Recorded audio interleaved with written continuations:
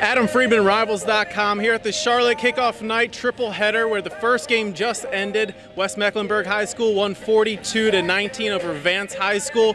The definite star of the game was North Carolina commit, Rivals 250 wide receiver Dyami Brown. Really did it all, offense and defense. Mainly a wide receiver, had a couple of really nice catches, and, and he took a handoff and scored on a really tough run up the middle. That was the main uh, thing we took away from this game with Dyami Brown. The increased toughness, the increased strength, something we didn't see a whole lot from him last year. It caught a lot of defenders by surprise, and even making tough catches over the middle of the field was really impressive. He took a couple of handoffs on sweeps, and on defense too, made a couple of nice tackles in the open field too. So, and, one of the things that really surprised us was that he had a jump pass for a touchdown also. Uh, so a lot more to come later on tonight from this uh, triple header.